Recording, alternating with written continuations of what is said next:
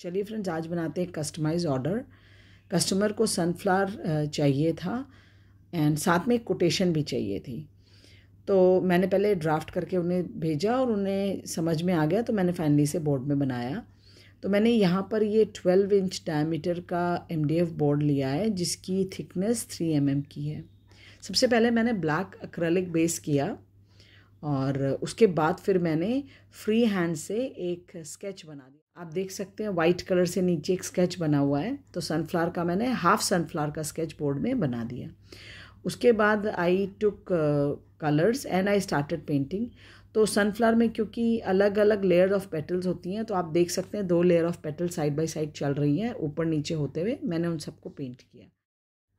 उसके बाद मैंने सेंटर वाला पार्ट ब्राउन कलर से किया और कस्टमर चाहता था कि बी एस सनफ्लावर जो है, वो इसमें लिख, लिखा जाए because this was for daughter so finally मैंने ये वाइट कलर से बी एस सनफ्लावर कोटेशन भी एक डाल दी। अब यहाँ सनफ्लावर में टू लेयर्स हैं तो दोनों लेयर्स को अलग अलग करने के लिए मैं यहाँ पर ऑरेंज कलर का इस्तेमाल कर रही हूँ। मैं ऑरेंज कलर से लीव की जो शेप है, वो डिफ़ाइन कर रही हूँ और थोड़ी थोड़ी लाइंस भी ऐड कर रही हूँ। ताकि वो जो नेचुरल लुक है सनफ्लावर का, वो आए। ऑरेंज से काम करने के बाद, उसके बाद मैंने ब्राउन कलर लिया लाइट उसको थोड़ा किया, उसमें हल्का सा ऑरेंज शेड मिक्स किया और मैंने अलग अलग लेयर्स को और ज़्यादा डिफ़ाइन किया ताकि दूर से दिखने में क्लैरिटी आए। ठीक है तो फिर मैंने फिर ये डार्क कलर से और डिफ़ाइन किया और अलग अलग पेटल्स को अलग अलग हाईलाइट करते हुए जो उसके बीच में जो गैप्स हैं, उनको डार्कर किया। क्योंकि जो नीचे का पोर्शन होगा, जो डार्कनेस में है, वो डार्क कलर से ही आएगा। ठीक है?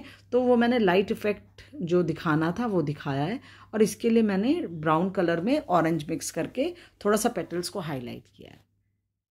फ्लावर का सेंटर वाला पार्ट, क्योंकि पेटल्स के साथ मिक्स होता हुआ नहीं दिख रहा है, वो अलग से दिख रहा है तो उसको और बेटर डिफ़ाइन करने के लिए मैं यहाँ पर यूज़ कर रही हूँ ब्रश बहुत पुराना है, मेरा ये फ्लैट ब्रश था, जिसके ब्रशल्स इतना हार्ड हो गए कि वो बिल्कुल यू नो फ्लावर की तरह बन गया एंड वेरी हार्ड ब्रशल्स तो इससे अगर हम कलर लगाते हैं तो वो डॉट डॉट डॉट अपने आप आता है। आप किसी भी पुराने फ्लैट ब्रश को अगर बहुत यूज़ कर लेंगे तो वो इसी तरीके से बनता है। अगर आपके पास नहीं है तो आप simple round brush zero number का लेके उससे डॉट डॉट डॉट बना सकते हैं। ठीक है? तो मैंने इस तरीके से इसका सेंटर वाला पोर्शन बिकॉज़ अगर अगर आप सनफ्लावर का सेंटर पोर्शन देखेंगे या किसी भी फ्लावर का तो आप उसमें देखेंगे कि छोटे छोटे छोटे छोटे पार्ट्स आपको देखते हैं। You know like a dot dot kind of thing तो यहाँ पर मैंने वही किया है with the help of this flat brush अब राउंड ब्रश ज़ीरो नंबर का लीजिए और इससे जो सेंटर पार्ट है, उसको आप और हाईलाइट करेंगे। तो आप देख सकते हैं मेरे ब्रश के मूवमेंट्स जहाँ जहाँ फ्लैट ब्रश से काम नहीं बन पाया था, वहाँ पर मैंने ये राउंड ब्रश लिया और इसकी हेल्प से फिर वो डॉट डॉट और लाइन लाइन सा पोर्शन जो आपका सेंटर वाला पार्ट होता है सनफ्लावर का, वो क्रिएट किया है। इसके बाद फिर अगेन मैंने अपने फ्लैट ब्रश को लेके पूरे ब्राउन कलर के ऊपर थोड़ा एक different shade you know brown का ही, जैसे नीचे बहुत डार्क ब्राउन था, उसके ऊपर मैंने बर्न सियना टाइप का कलर लिया और उससे ये डॉट डॉट डॉट डॉट अपने फ्लैट ब्रश से बनाती हुई चल रही हूँ। हम अपने ब्राउन कलर को यहाँ पर थोड़ा हाईलाइट कर सकते हैं, थोड़ा येलो मिक्स करके उसी फ्लैट ब्रश से थोड़ा थोड़ा हम एक्स्ट्रा शेड भी इसमें लगा सकते हैं। बिकॉज़ कभी भी प्लेन एक शेड नहीं होता नेचर में शेड्स में अलग अलग वेरिएशंस होते हैं हमेशा। आप किसी भी मंडाला डॉट आर्ट वाले टूल को ले सकते हैं, या अगर नहीं भी है तो राउंड ब्रश की टिप से आप ये कर सकते हैं। तो ये डॉट डॉट डॉट मैंने थोड़ा दूर दूर दूर दूर रैंडम तरीके से ये सनफ्लावर के सेंटर में बनाए हैं।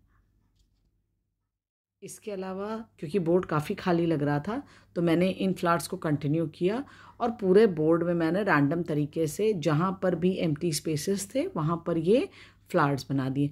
अब आपने, आपको अगर याद हो तो इसमें मैंने बी एस सनफ्लावर लिखा था। ए बहुत ही ऑकवर्ड लग रहा था और छोटा भी था तो मैंने उसको ब्लैक कलर से रीपेंट कर दिया। So it is B sunflower and इस तरीके से हम फ्लावर्स बनाते हुए चलेंगे छोटे छोटे और अपने बोर्ड को कंप्लीट करेंगे।